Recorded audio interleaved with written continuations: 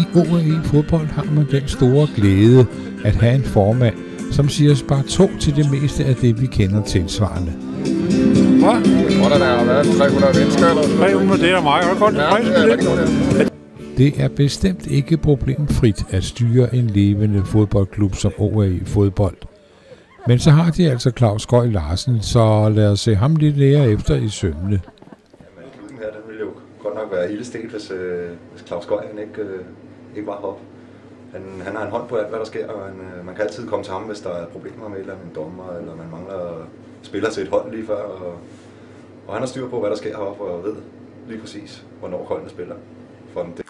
Jamen, øh, Claus Gøj Larsen, Gøj som vi kalder ham, han er omdrejningspunktet i, øh, i klubben. Han er ubetinget den, der ligger flest timer heroppe. Øh, og jeg vil sige, at der er mange, der siger eller vurderer, at han har, øh, hvad der svarer til fuldtidsarbejde heroppe.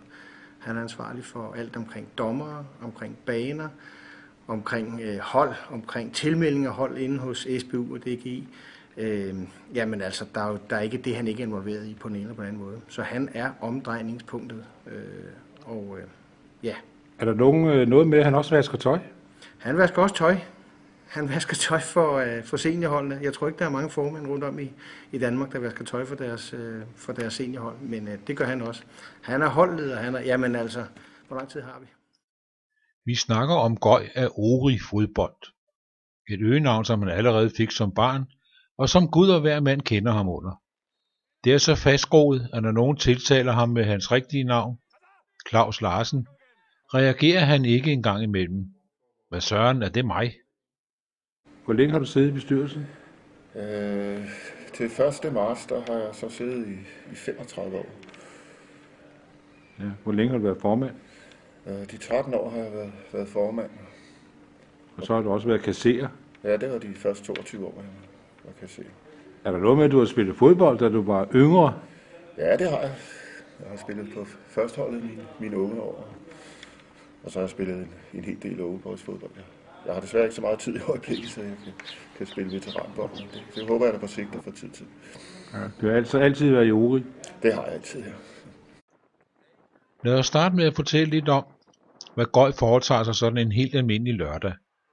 Han er jo holdleder for hold 2 i Ori, og udfører alle de pligter, det medfører til punkt og prikke.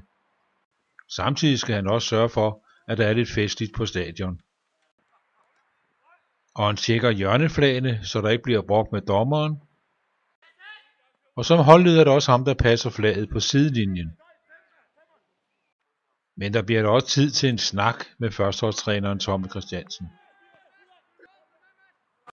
Tre styk. Fire. Ah, den lille går. Nej, det skal jeg også. Nej, ja, der går ikke mere. Når så førsteholdskampen er vel overstået, ja, så skal førsteholdet ofte i sving.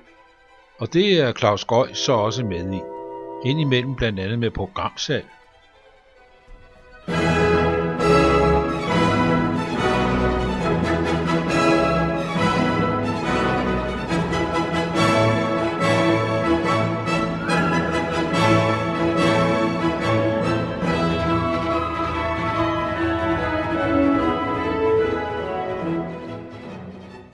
Som formand er det jo også hovedpersonens opgave at tage sig af mere repræsentative ting. Ja, velkommen til vores rejsegild. Det er jo rigtig rart at se, at der er kommet så mange. Så lidt historisk set i klubben 67 års historie er det den fjerde tilbygning. Og netop omkring det nye boldrum i Ori har Claus Gøj taget et stort nap. Han brugte i en periode af al sin fritid indtil et problem i hans ene ben satte en stopper for det. Problemer, som heldigvis ser ud til at være løst. Men ellers er han med alle vegne, som her ved øh, Café Frejerkop, hvor han for inden på fodboldskolen i ugen op til sørgede for, at der var mad til de mange deltagende børn. Det er en kendt sag, at mange løber træt i jobbet i deres respektive klub efter nogle år i aktivitet. De får ofte for travlt på arbejde, siger de. Men ikke Claus Gøj. Hvad er det, der holder dig i gang? Jamen, det, det, der holder mig i gang, det er at se det liv, der er op, når man for eksempel kommer op en, en tirsdag klokken 5, og det så vrimler med, med små fodboldspillere herude, og, og forældre, der sidder omkring og, og hygger sig. Ikke? Det er simpelthen det at se, der er liv heroppe, og der er en stadig masse unger, der vil spille fodbold. Det, det er rigtig rart at se. Har du aldrig været træt af det? Det, det er man i perioder. Ikke?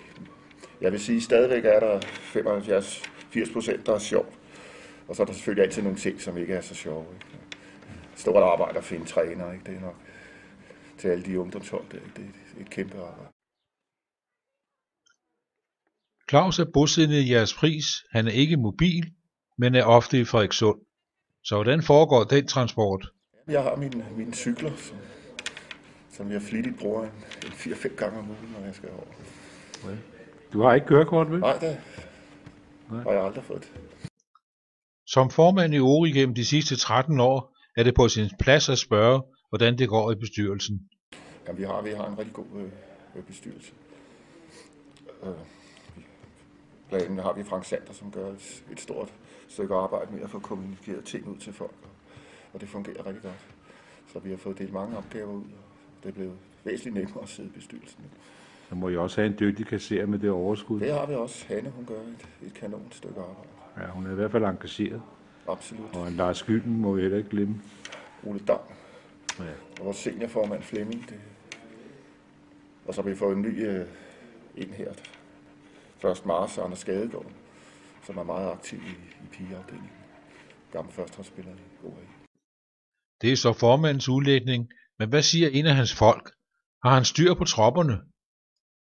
Han har bestemt styr på, på bestyrelsen. Som jeg sagde tidligere, så er han omdrejningspunktet i, i bestyrelsen. Øh, og han er god til at uddelegere. Han er ikke typen, der har behov for at bestemme. Øh, så øh, der er store frihedsgrader, men han er god til at samle trådene, og det er det, vi er, vi er glade for med, med Claus Gøj.